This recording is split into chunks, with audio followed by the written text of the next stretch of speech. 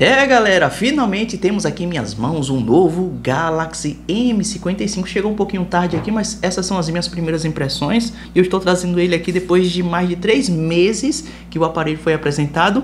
E talvez muitos de vocês devem se perguntar qual seria a principal diferença do M55 para o Galaxy A55 que inclusive a gente já trouxe muitos vídeos aqui no canal sobre o Galaxy A55 A principal diferença, na verdade, tem várias características que diferem um do outro. A principal é o preço.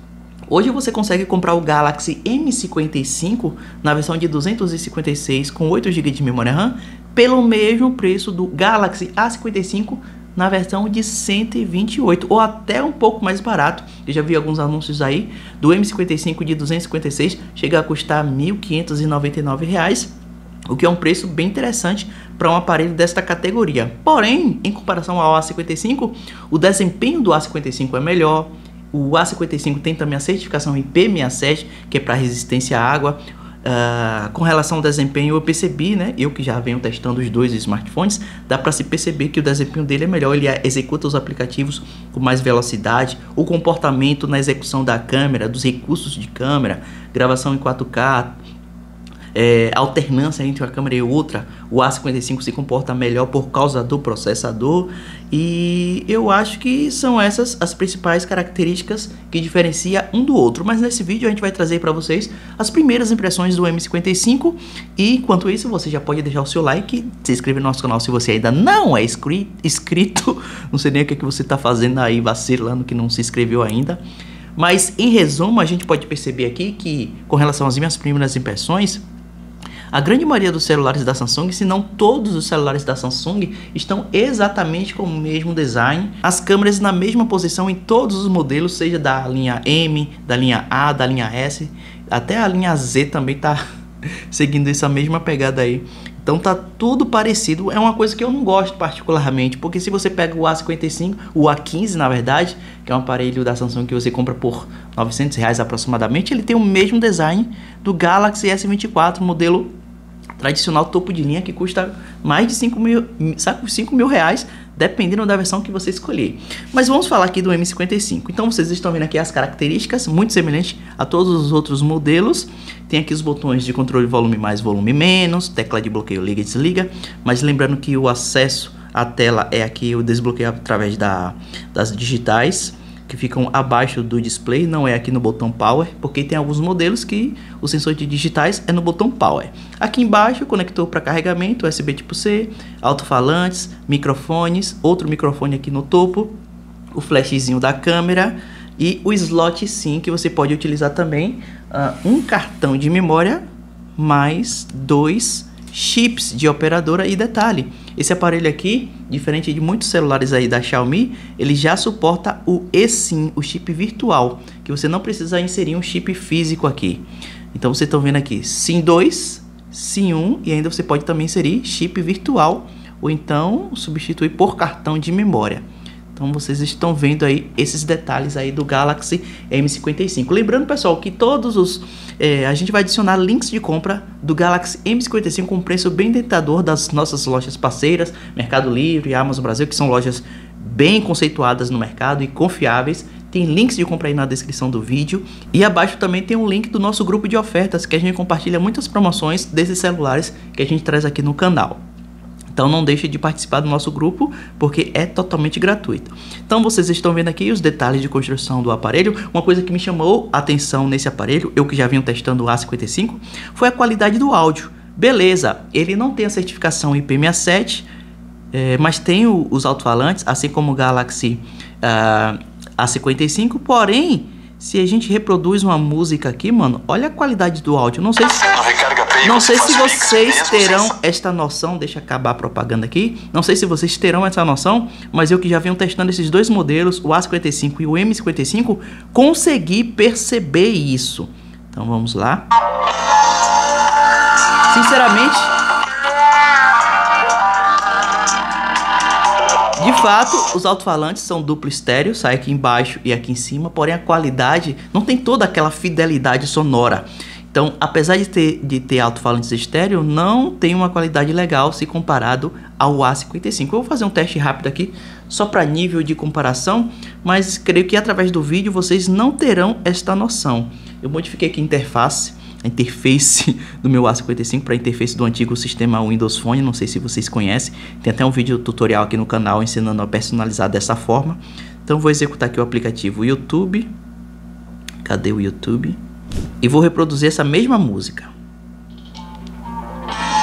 Olha, qualidade totalmente diferente. Agora eu entendo porque o M55 de 256 é bem mais barato que o A55 na versão de 128 GB. É porque, de fato, a Samsung parece ter colocado aqui componentes de baixa qualidade para baratear o smartphone. Então, tem esse detalhe, qualidade do áudio não é legal. Esse aqui é um smartphone para aquelas pessoas que não são tão exigentes, que querem pagar um celular bem barato, mas que tenha 256 de armazenamento, muita memória, que tem uma tela Super AMOLED, 120 Hz também para jogar eventualmente um processador decente para as atividades básicas do dia a dia, executar os aplicativos de redes sociais, Facebook, YouTube, Kawaii, é, Instagram e TikTok e vários outros. É, é nessa pegada aí.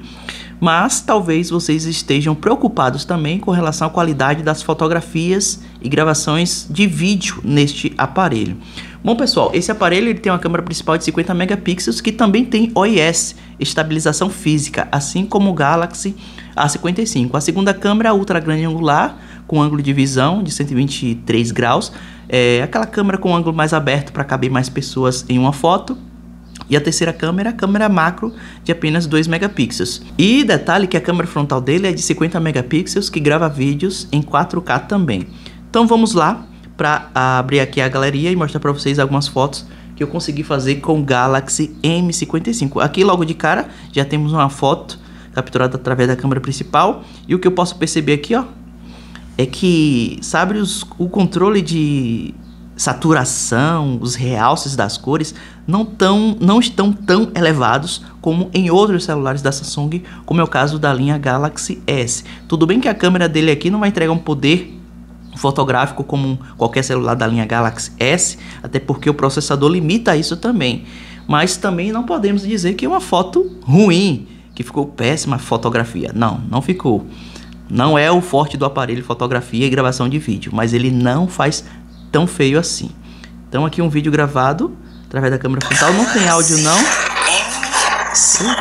Olha só. A captação de áudio dele é bem estranha. É bem estranho. Tá no volume 1, tá parecendo que tá no volume máximo, velho. Tá ouvindo barulho, gente? Que isso? Mano, que coisa estranha. Mas é só para vocês notarem a definição e estabilidade de vídeo. De fato não é ruim. Não sei se é o caso do meu, da minha unidade aqui que veio com probleminha, mas tá, tá estranho o áudio aqui, viu? Tá captando muito ruído. E, e, de uma forma muito estranha que eu nunca tinha visto antes, nem celulares mais baratos que ele. Mas pelo menos na estabilidade e definição não tá ruim. Então essas são as minhas primeiras impressões de fato sobre esse aparelho. Eu gravei um vídeo também através da câmera principal, olha aqui, já testando com o um dogzinho aqui. Já que o áudio ficou mudo foi? Oxe, o que foi que aconteceu aqui? o áudio ficou mudo, velho. Parece que esse aparelho tá com problema. Não é possível. Jogar na água eu não joguei. Isso eu tenho certeza. É, ficou sem áudio. Mas tá aí teste de estabilidade. Nada mal, né? Mas tá sem áudio. Eu creio que é a minha unidade aqui que veio com algum problema, pessoal. Não se preocupe, porque se você vai comprar algum smartphone na internet, através dos links que a gente deixa na descrição do vídeo, é, pelo menos no Mercado Livre na Amazon, você tem a garantia de compra. Se o produto chegou com algum problema, você pode simplesmente solicitar a devolução, ser reembolsado ou receber uma outra unidade, sem precisar levar para assistência técnica, sem precisar esperar dias e dias. Então, não se preocupe com isso. É a primeira vez que isso acontece, que uma unidade de um aparelho que eu recebo aqui vem com problema pelo menos nesse aspecto aí de gravação de vídeo, captação de áudio. Na verdade, o problema está aqui na captação de áudio, no microfone. Porque na câmera frontal vocês viram. Olha esse barulho. Já na câmera principal ficou sem áudio. totalmente sem áudio. Então vamos conferir agora algumas fotos capturadas também com esse smartphone aqui. O Nivus que eu estava testando, carro alugado.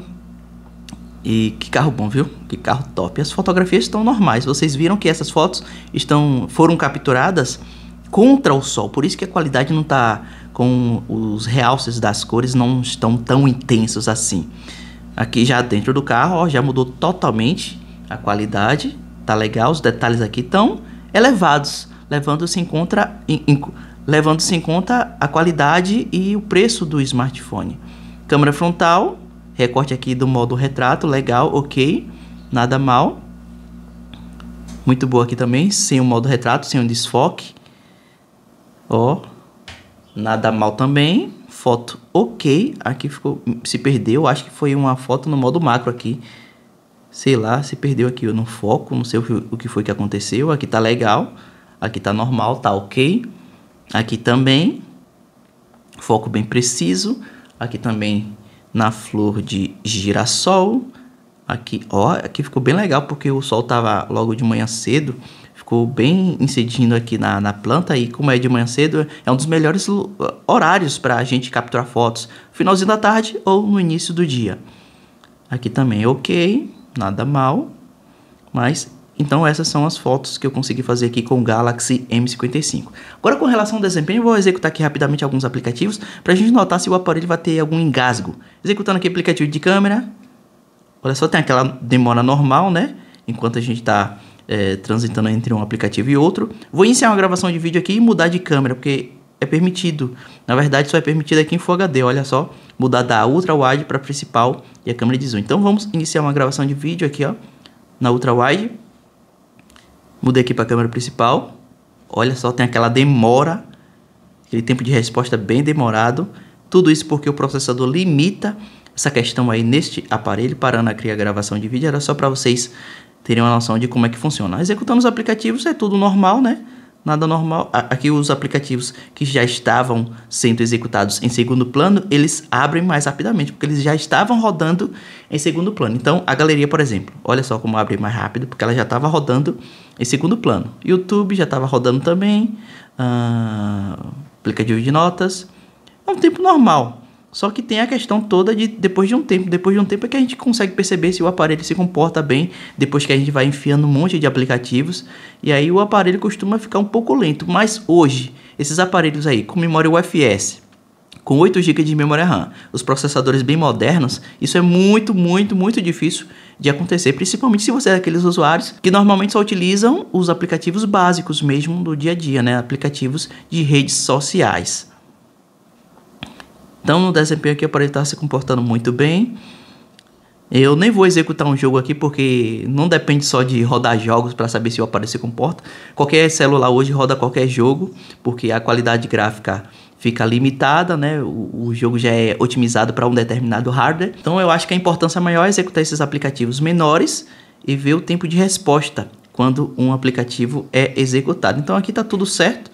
Tá funcionando muito bem. Claro que são as minhas primeiras impressões também. Então, é, eu fico eu ficaria devendo comentários mais aprofundados depois de algumas semanas de uso com esse aparelho aí. E para nível de conhecimento, abrindo aqui o aplicativo DevCheck, que mostra todas as características de hardware do aparelho. Este é o processador dele, o Snapdragon 7 geração 1, com 8 GB de memória RAM, 256 de armazenamento. A gente já conhece aí a tela do aparelho Super AMOLED 120 Hz. Vou executar um videozinho aqui pra gente ter uma noção. Deixa eu ver. Um vídeo legal aqui, cara. Tá aqui um vídeo sendo reproduzido em 4K.